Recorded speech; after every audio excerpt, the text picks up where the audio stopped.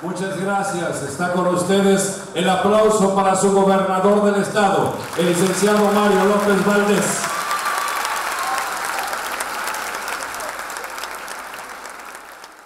Protestan ustedes cumplir con responsabilidad y lealtad al encargo para dignos representantes del sistema educativo nacional y cumplir con la política que promueve el presidente de la República, Enrique Peña Nieto? Estamos seguros que así será y que desde el día de hoy el pueblo de Sinaloa y de México los reconoce como verdaderos líderes para la transformación de la patria. Felicidades y enhorabuena.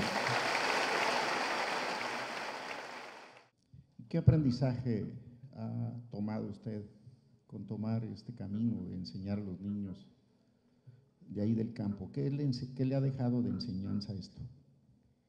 Pues me ha dejado mucho al saber de ellos, de lo que han aprendido en poco tiempo, de yo también poder aprender de ellos mismos porque ellos me enseñan mucho de lo que yo de lo que yo no sé, pues también.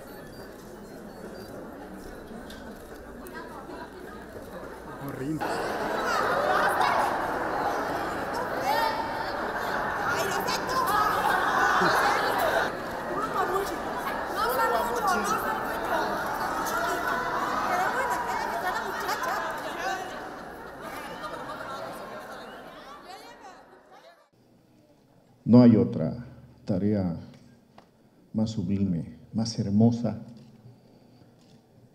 que depositar en nuestros niños y en nuestros jóvenes la semilla del conocimiento. Nosotros estamos apostando a la educación como la mayor apuesta.